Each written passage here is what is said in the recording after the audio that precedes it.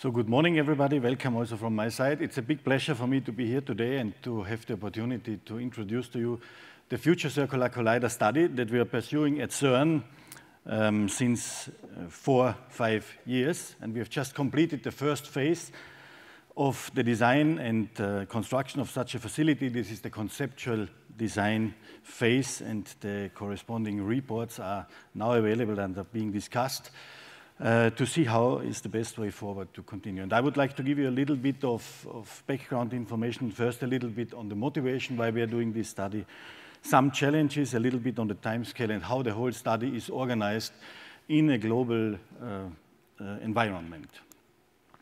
So let's first look a little bit back in history. We have been building colliders in physics since the 1960s always with the goal of understanding more about nature, about our universe. First, it was nuclear physics that was of interest, and then it moved on and on to smaller and smaller scales. And these smaller scales required higher and higher energies. And this you can see on this slide. Uh, on the vertical axis is the, is the, collision energy that we provide with these uh, colliders.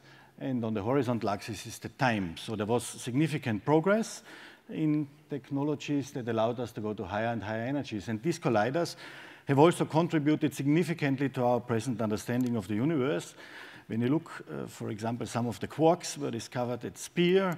Afterwards, at Petra in Germany, there was the gluon that is representing the force between the quarks. Then at the SPPS, this is a collider that was built in CERN in the 70s. We discovered um, um, the Z and the W bosons the, for, the, for the weak interactions. And then later at the Tevatron in the US, at a different proton collider, we discovered the top quark. And uh, as we just saw in the, in the movie on the LHC, we discovered the Higgs particle a few years ago. So all in all, it's, it's clear and evident from this that colliders are very powerful instruments in high energy physics and that they are essential for us to move forward and to make discoveries and understand uh, the nature. So with the Higgs discovery, we have somehow completed a, a, basic description of the, of the universe as we see it around us here, um, in the sense of that we can now explain in a coherent fashion the known and visible matter around us. But still, there are many open questions and we do not uh, understand 95% of the universe. This we can, uh, we, we know that we do not understand these things from, for example, watching galaxies, movements of stars and galaxies that behave differently than they should, according to what we know today. And there are a number of other questions. And to answer these questions, of course, justifies um, exploitation in all the areas that we have at hand, yeah? be it astroparticle physics, be it underground experiments, be it uh, high energy physics via colliders. And all these, all these methods and approaches are necessary and needed and should be pursued at the best and most ambitious level to help us gain further understanding of our universe. And that's uh, the reason for why we are planning to continue uh, exploration with colliders and why we are planning new colliders. So on the right-hand side of this graph, you see various options that are being pursued. Uh, there are linear colliders and circular colliders in different energy ranges with a slightly different uh, focus on what they would uh, aim at understanding. And what I'm going to talk to you today about is the FCC study Future Circular Collider. So there are two uh, instances here. This one is a lepton collider that uh, can uh, smash electrons on positrons, and this one at very high energy is a hadron collider that can collide protons with protons or ions with ions. And of course, colliders are so interesting for us because they can, they can provide on a laboratory scale experimental conditions that are most relevant for highest energy physics. Yeah? So we try to simulate the situation that um, was existing at the universe at very short timescales after the Big Bang, and we can do this in a controlled way, knowing all the parameters, knowing all the conditions in the laboratory, and all this is provided by the particle collider. Now, for such mega projects, there must be, of course, also a consensus on international level to go ahead and to have support to move forward. Yeah? Because these are very resource-intensive projects, and there is a certain consensus around the world. These are statements from about four or five years ago, from essentially all the, all the regions of the world.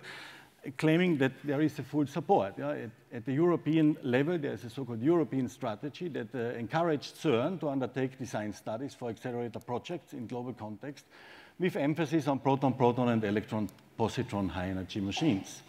At the same time, a physics strategy process was concluded in the US with this statement that a very high energy proton-proton collider, such as the FCCHH, is the most powerful tool for discovery of new particles and interactions in any scenario of physics in a time window of uh, typically 20, 30 years.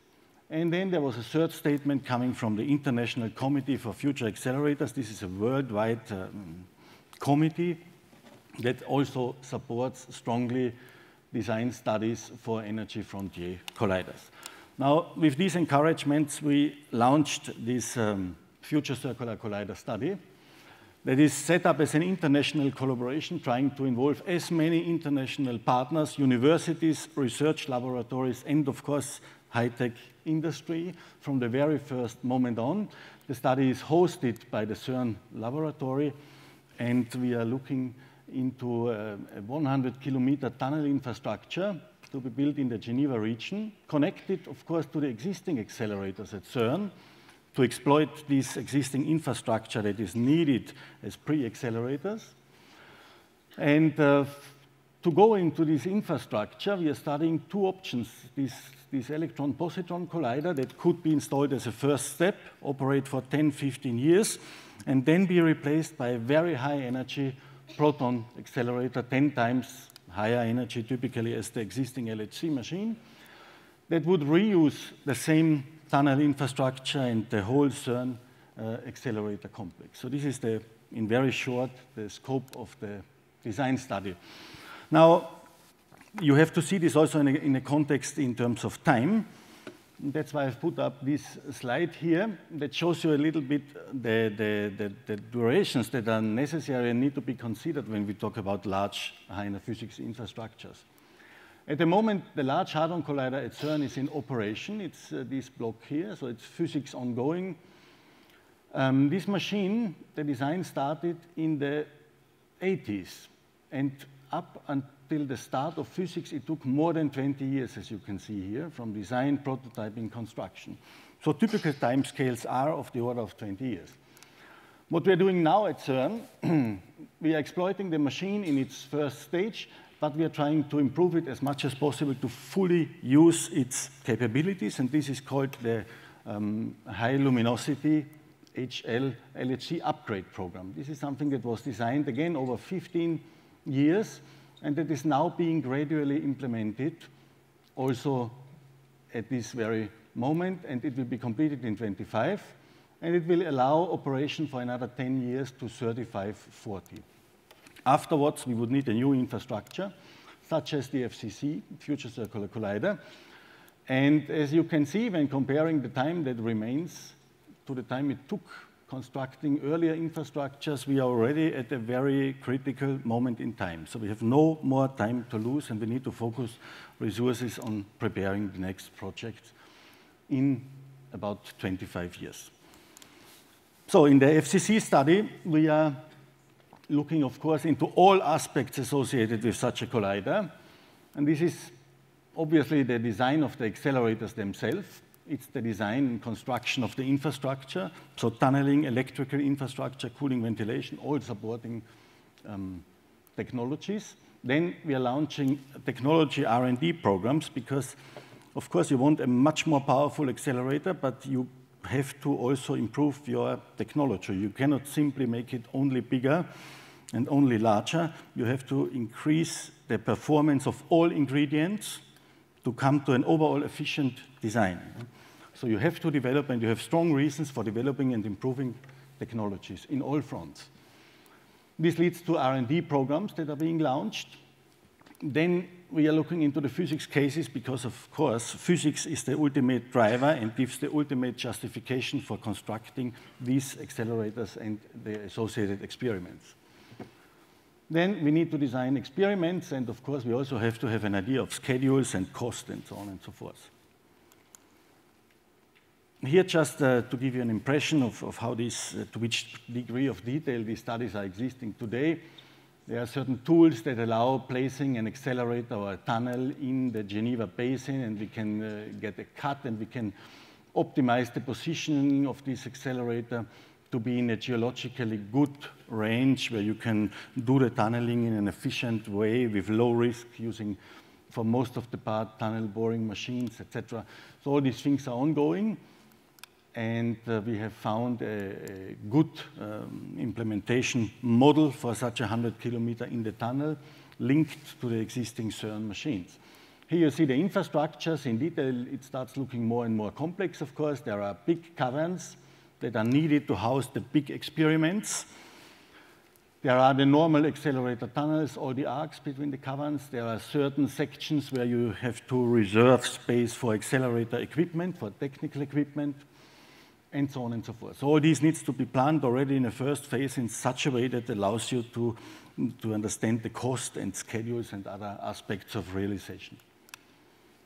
Then um, one topic I want to mention because it's, uh, it's, a, it's a very challenging one and it's a good example for how we want to gain in performance. Um, an important point in these accelerators and the limitation of the, of the energy that can be reached in a certain tunnel is the magnetic field in the magnets that are needed to keep the particles on a circular track. Hmm? So we, we have mag magnets to keep the beam on going in the, in the circular tunnel. And um, for the FCC, we want magnets that are twice as powerful as those that are presently operating in the LHC tunnel. And this is one ingredient that will allow us to increase significantly the energy of the circulating beams. And this requires a major, a major R&D program because we want to gain a factor two in performance. And this is not uh, something simple. You have to change uh, the technology.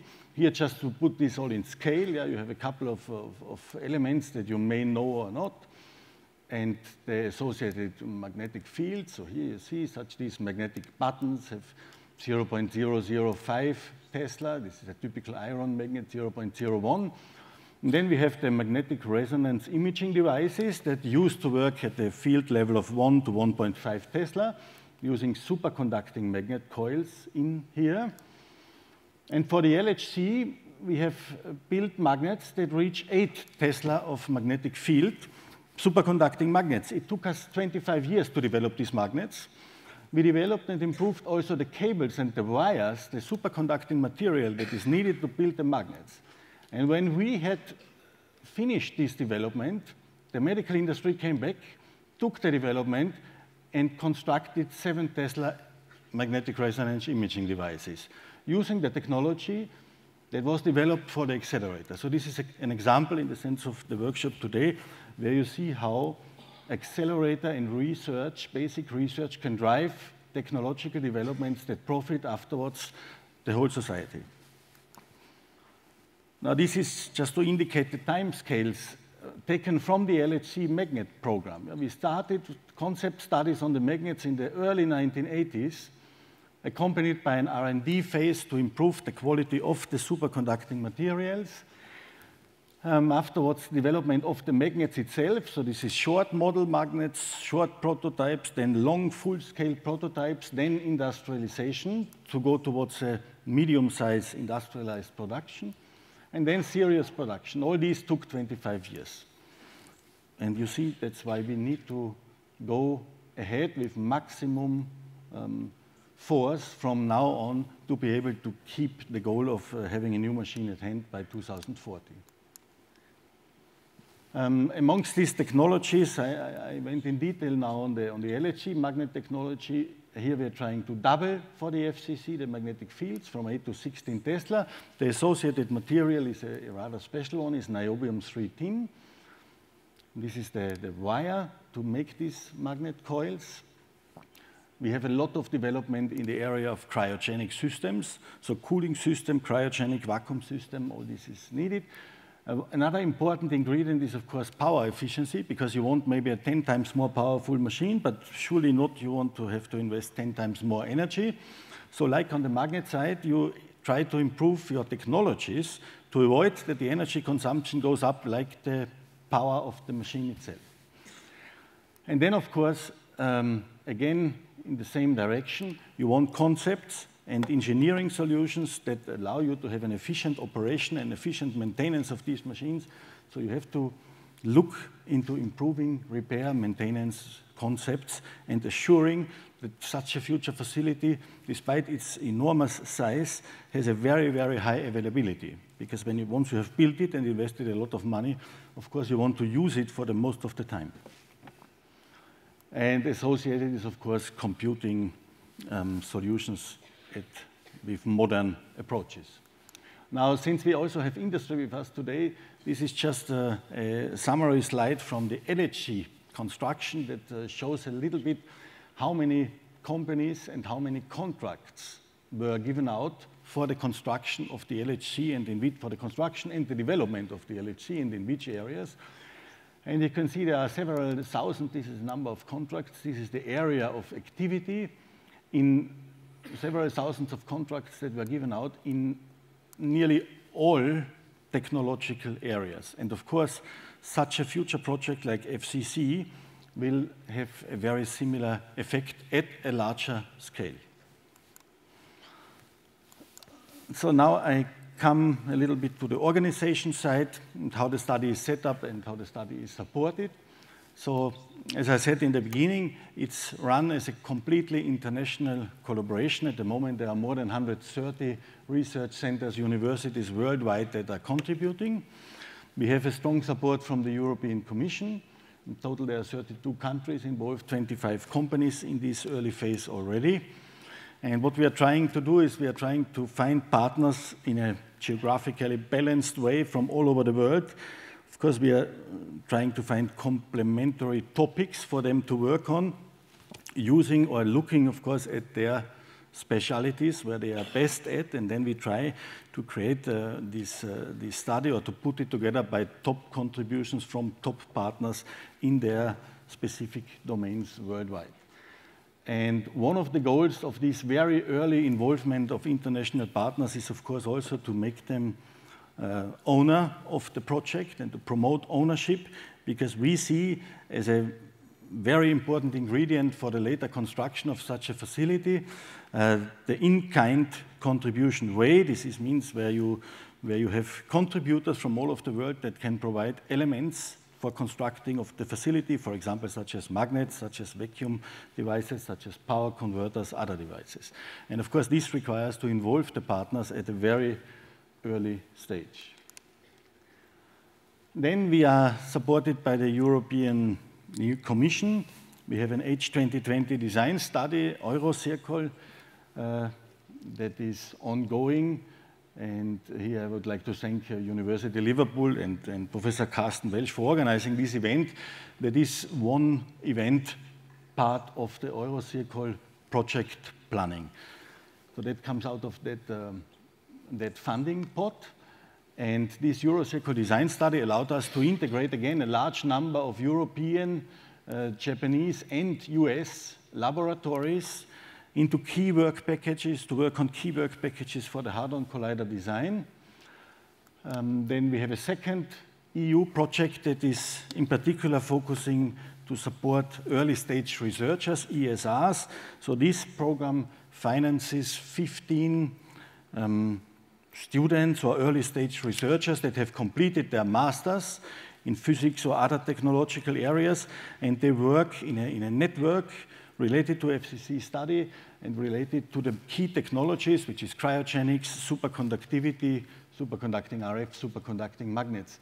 And they do this in collaboration with a lot of laboratories and with a lot of industrial partners to create a network, a strong network as a basis for further R&D developments in the context of FCC. Uh, so this brings me towards the end of the talk. So as I said, uh, we are now at, uh, we have completed the first phase, the conceptual design study. So the various reports and documentation can, is available, publicly available at these, at these links. And to finish off here, I can give you as an outlook a typical project schedule for FCC, uh, the integrated program. Um, the, the gray blocks here is preparatory phase, so this is uh, all activities needed to prepare the project, to discuss with the host states, to prepare the project financing and to develop the project governance structure. It's typically a block of five, six years. Afterwards, the project can start. Um, and then it will, of course, start with this gray block down here, which is civil engineering associated with the construction of the 100 kilometer tunnel. In parallel is all accelerator development, and the yellow block here corresponds to the first accelerator that should go in, a lepton collider that would be developed, designed, and then constructed and installed and could operate somewhere by 2040 if the whole block starts in 2020. Um, then this machine would operate, and while it would operate, the green block would be developed. This is then the stage two, a very high energy hadron collider, and that could be then installed somewhere in the second, beginning of the second half of this century. And the whole block gives a physics program, coherent physics program for high energy physics at the highest possible energies and highest possible luminosities nearly throughout the complete 21st century. So this brings me to the conclusion. This future circular collider study aims at developing a, a larger scale research and technical infrastructure that would, of course, at the same time strengthen and assure the long-term attractivity of Europe as the world leading high energy physics research location. It's driven from the very first moment by international contributions, and it aims at a strong liaison in the R&D phase, of course, also with industry. And uh, I will stop here with some final thoughts. So we are, I think, at this moment, we, we are at a very important point in time. We have discovered the Higgs uh, particle, and uh, we need now to, to move forward with the, with the large amount of still open questions that we have beyond the standard model physics. And clearly, one of the top priorities is to investigate uh, the Higgs particle in all its detail. And uh, then, of course, to, to, to work also on the other big open questions. And to contribute to this, to this um, very basic research and answering these very basic questions, I think on the high energy collider physics side, we, our next facility must be versatile, of course, and as powerful as possible. Future colliders must offer more sensitivity to new physics, more precision in the measurements, and more energies to directly produce potential new particles. CERN is then a very, is, is the best place uh, for such a challenging enterprise, since there is an existing infrastructure, international infrastructure, we have been successfully delivering largest scale projects like the LHC. And I think FCC is a very attractive option for uh, going along these lines. It attracts surely a diverse community of scientists, engineers, partners from industry. It goes beyond geographical cultural boundaries. And uh, all this, I think, is absolutely needed to move forward on answering the fundamental questions that we have in front of us. Thank you very much.